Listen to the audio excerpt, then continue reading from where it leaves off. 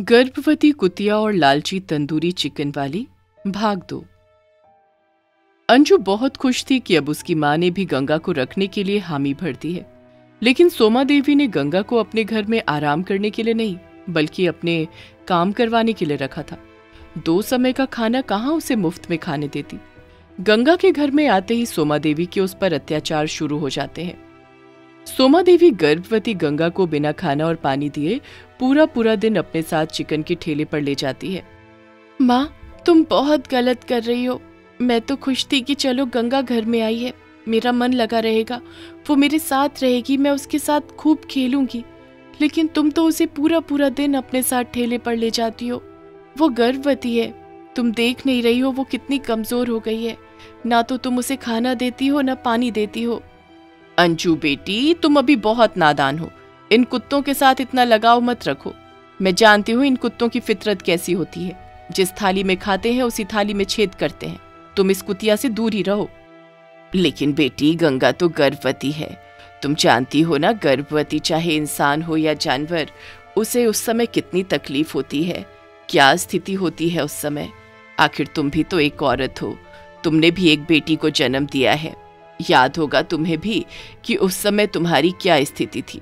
बहुत गलत बात है बेटी ये तुम उसे एक समय का भी ढंग से खाना नहीं देती हो और पूरा पूरा दिन उसे चिकन के ठेले पर खड़ा रखती हो। देखो तो वो कितनी कमज़ोर लग रही है। हाँ सोमा माँ बिल्कुल सही कह रही है। ये पाप है। गंगा जानवर है तो क्या हुआ? उसे तकलीफ़ नहीं होती है क्या?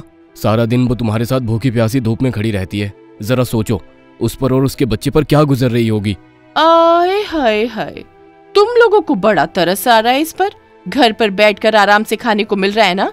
इसलिए बड़ी बड़ी बातें आ रही हैं। जब बाहर जाकर कमाना पड़ता, तब पता चलता तुम लोगों को। मैंने इस कुतिया को घर में रहने की इजाज़त सिर्फ़ इसलिए दी है, ताकि ये मेरे साथ काम में हाथ बटाए, न कि घर पर मुफ़्त की रोटियाँ तोड़े जैसे तुम लोग तोड़ रहे हो। मैं कह देती हूँ, मेरे काम में टांग मत अड़ाओ, नहीं तो मुझसे बुरा कोई नहीं होगा। चल गंगा मेरे साथ चल। सोमा देवी अपने पति और सास पर गुस्सा करके वहाँ से गंगा को लेकर ठेले पर चली जाती है। बेचारी भूखी प्यासी गंगा पूरा दिन ठेले पर दूसरे कुत्तों को चिकन के ठेले से दूर रखने का काम करती है और सारा दिन खड़े रहकर पहरा देती है। इतनी तकलीफ़ में होने के बावजूद उफ तक नहीं करती है। सोमा के ठेले पर चिकन के ढेर लगे होते हैं। गंगा भूखी प्यासी भी होती है, लेकिन मजाल है कि कभी वो वहाँ से चिकन का एक पीस उठाकर भी खाए। मनोज बेटा शायद हमने गंगा को घर में लाकर गलती कर दी। हमारे घर से ज़्यादा वो पहले खुश थी। यहाँ पर उस पर बहुत अत्याचार हो रहे हैं।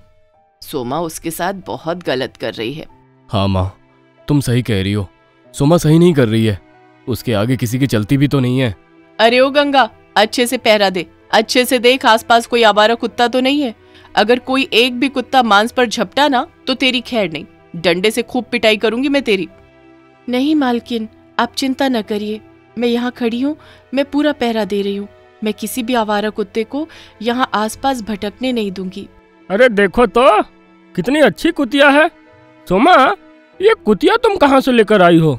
जब से ये कुतिया आई है, तब से तुम्हारा व्यापार तो डबल हो गया है। क्योंकि अब तुझे तो आवारे कुत्ते भी तंग नहीं करते हैं। बिल्कुल इंसानों की तरह काम कर रही है। आखिर कहाँ मिली तुझे इतनी अच्छी कुतिया? अरे, ऐसे ही थोड़ी पैरा दे रही है। भर भर कर खाना खिलाती हूँ मैं इसे। कोई मुफ़्त में काम नहीं कर रही है। ये सुबह शाम खूब खाती है। क्यों झूठ बोल रही है मालकिन? आप तो मुझे एक समय का खाना भी ढंग से नहीं देती और पूरा पूरा दिन यहाँ पर खड़े खड़े मुझसे पहरेदारी करवाती हैं। अगर मुझे अंजू बिटिया से लगाव नहीं होता तो मैं तो कब का यहाँ से जा चुकी होती। खाना न मिलने के कारण और पूरा पूरा दिन गर्मी और धूप में पहरा देने के कारण गंगा बहुत कमज़ोर हो चुकी थी। अंजू मनोज और मनोज की माँ को गंगा के साथ बहुत लगाव था। शाम को जब गंगा सोमा के साथ घर आती है तो तीनों मिलकर गंगा को अच्छे से खाना खिलाते हैं। ये लो गंगा, खाना खा लो। मैं जानती हूँ मेरी माँ बहुत बुरी है। तुम्हारे साथ बहुत गलत कर रही है। तुम्हें अच्छे से खाना भी नहीं देती और ऐसी अवस्था में तुमसे सारा काम करवाती है। गंगा, हमारे घर में तुम्हारे साथ बहुत बुरा हो रहा है। पर हम बेबस हैं, हम कुछ नहीं कर सकते। तुम्हें भरपेट खाना भी नहीं मिल रहा है। अब तो बस भगवान से यही प्रार्थना करती हूँ कि तुम्हारा बच्चा तंदुरुस्त और स्वस्थ पैदा हो और हमारी इन गलतियों के लिए हमें माफ़ कर देना, मेरी बच्ची।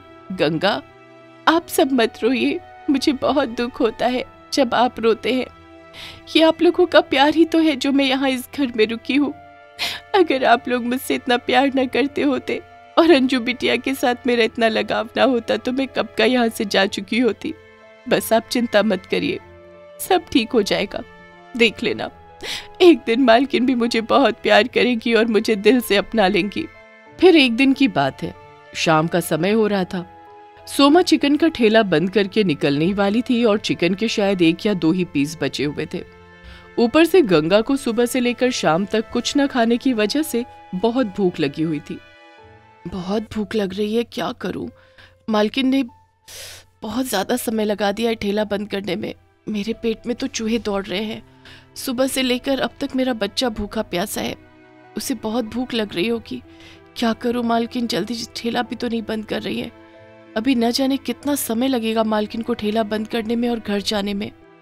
अरे ओ गंगा, तू बस दो मिनट रुक। मैं सेठ को कल के लिए चिकन का ऑर्डर देकर आती हूँ। तब तक तू यहाँ बचे हुए चिकन का ख्याल रखना। सोमा अगले दिन के लिए सेठ के पास चिकन का ऑर्डर देने जाती है और वहीं ठेले पर चिकन के दो तीन पीस देखकर गंगा का बहुत जी ललचाने लगता है। उसे चिकन देखकर और ज़्यादा भूख लगने लगी। आज से पहले गंगा ने ऐसा कभी नहीं किया था कि ठेले पर बन रहे चिकन पर कभी नज़र डाले, लेकिन आज उसे बहुत ज़्यादा भूख लगी थी और भूख के मारे वो बेहाल हो रही थी। क्या करूँ? बहुत ज़्यादा भूख लग रही है। चिकन के दो पीस ठेले पर बचे हुए हैं। खा लूँ क्या? अगर नहीं खाऊँगी तो क्या पता भूखे पेट मेरा बच्चा ही ना मर जाए। ऐसा करती हूँ, खाई लेती हूँ। वैसे भी अब मालकिन ठेला बंद करने वाली है तो ये दो पीस कौन ही खरीदेगा? गंगा चिकन के दो पीस खा लेती है। चिकन खाते हुए उसे सोमा देख लेती है और उस पर बहुत गुस्सा करती है। बेशरम चोर कुतिया, तू तो कहती थी मालकिन कभी भी शिकायत का मौका नहीं दूँगी और आज तेरी असलियत सामने आ गई। जरा सी मेरी नज़र क्या हटी? तूने तो पूरे ठेले पर ही अपना मुँह जमा लिया। चिकन चुरा कर खा रही है, तुझे तो अभी बताती हूँ मैं। सोमा गर्भवती गंगा को इतनी सी गलती के लिए डंडे से खूब मारती है। गंगा बेचारी उस पर पलटवार करने की बजाय चुपचाप मार सह लेती है। अब तेरे लिए मेरे घर में कोई जगह नहीं है। तूने मेरा यकीन तोड़ा है। अब तुझे मैं अपने घर में नहीं रखूँगी। जहाँ मर्ज़ी वहाँ जा, लेकिन आज के बाद तुम मेरे घर में नहीं रहोगी। नहीं, मालकिन मुझे माफ़ कर दीजिए। मुझसे गलती हो गई। बहुत भूख लग रही थी। पेट में मेरा बच्चा भी भूखा था। मैंने सोचा कि मेरे बच्चे को कुछ ना हो जाए, इसलिए मैंने दो पीस खा लिए। आज के बाद ऐसा कभी नहीं होगा। आप मुझे जो चाहे वो सजा दे दीजिए, लेकिन मुझे घर से ना निकालिए। सोमा गंगा की एक नहीं सुनती है और उसे घर से निकाल देती है। इस बात के लिए अपने घर वालों को भी खूब सुनाती है। जब घर वालों को इस बारे में पता चलता है तो वो बहुत दुखी होते हैं। देखा तुम लोगों की गंगा यकीन करके उसे घर में रखा था। अगर किसी ने भी उसे घर में आने की अनुमति दी तो सबसे पहले मैं उसे ही घर से बाहर निकालूँगी। माँ, तुम बहुत गलत कर रही हो गंगा के साथ। अगर उसने दो पीस खा भी लिए तो क्या हो गया? तुम उसे खाना भी तो नहीं देती हो। सुबह से शाम तक उसे अपने साथ ठेले पर रखती हो। तुम तो इतनी कंजूस हो कि चिकन की बची हुई हड्डी भी उसे नहीं देती। शायद उसे बहुत भूख लग रही होगी, इसलिए उसने खा लिया। गंगा के लिए अंजू, मनोज और उसकी माँ बहुत दुखी थे। दूसरी तरफ़ बेचारी गंगा कहीं नहीं जाती है। जख्मी हालत में घर के ठीक बाहर आकर बैठ जाती है। इसी उम्मीद में कि शायद उसकी मालकिन उसे माफ़ करके अपना ले। बेटा, देख तो हमारी गंगा कितनी वफादार है।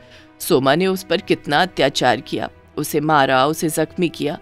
लेकिन फिर भी हमारे साथ उसे इतना प्यार है कि घर के बाहर आकर पहरा दे रही है। हाँ माँ, मैं तो कहता हूँ कि भगवान अब तू ही कोई चमत्कार करके दिखा, जिससे कि सोमा को थोड़ी सी अकल आ जाए और वो गंगा को वापस से घर में रख ले। फिर एक दिन की बात है। सोमा शाम के समय अपना काम खत्म करके ठेला बंद करके घर लौट रही थी। आज का तो दिन ही खराब था। ढंग का एक भी ग्राहक नहीं आया और इतना सारा चिकन बच गया। ऐसा करती हूँ कि चिकन को पैक करके घर ले जाती हूँ। सोमा बचा हुआ चिकन पैक करके शाम को घर लौट रही थी, कि तभी न जाने कहाँ से खुंखार और आवारा कुत्तों ने उस पर नज़र रखी हुई थी। सारे कुत्ते सोमा को घेर लेते हैं और चिकन को उससे छीनने लगते हैं। लेकिन सोमा चिकन को कुत्तों से बचाने लगती है। जब सोमा चिकन को कुत्तों से बचाने लगती है, कुत्तों को सोमा पर बहुत गुस्सा आता है और कुत्ते चिकन छोड़कर सोमा पर ही टूट पड़ते हैं और उसे काटने लगते हैं। सोमा बहुत चीखती और चिल्लाती है। कुत्ते उसे ज़मीन पर गिरा देते हैं और उसे बहुत काटने लगते हैं। थोड़ी ही समय में उसके प्राण चले जाते, अगर वहाँ पर गंगा नहीं आती। गंगा कुत्तों से अपनी मालकिन सोमा की जान बचा लेती है। छोड़ दो सारे मेरी मालकिन को। अगर तुम्हें खाना ही है तो इस चिकन को खाओ। इसे ले जाओ, लेकिन मेरी मालकिन को छोड़ दो। उनकी जान को बख्श दो।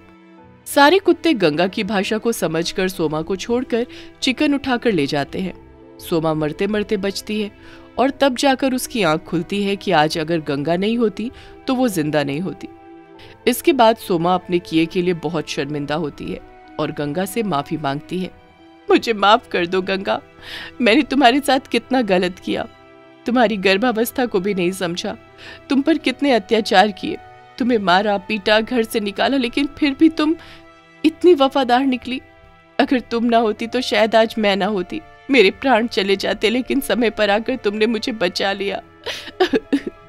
मुझे माफ़ कर दो। मुझे माफ़ कर दो। कोई बात नहीं, मालकिन। आपकी जान बच गई मेरे लिए इससे बढ़कर खुशी की बात और कोई नहीं है। सोमा तुम ठीक तो हो ना? शुक्र है तुम सही सलामत हो। मैंने सोच लिया है आज के बाद तुम्हें कोई काम करने नहीं दूँगा। अब से मैं खुद ही काम पर जाया करूँगा।